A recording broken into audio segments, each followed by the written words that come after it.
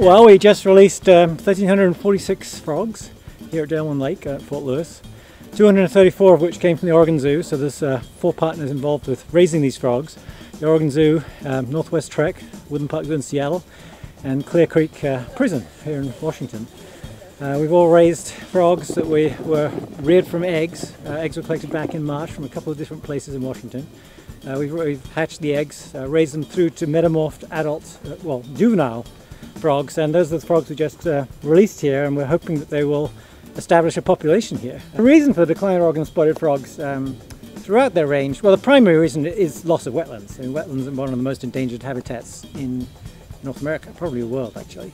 Um, but a particular problem that the Oregon spotted frogs have, seem to have, is with the introduced exotic bullfrog. And the bullfrogs are from the, were introduced from the East Coast many years ago, and they've gradually spread, spread north in California.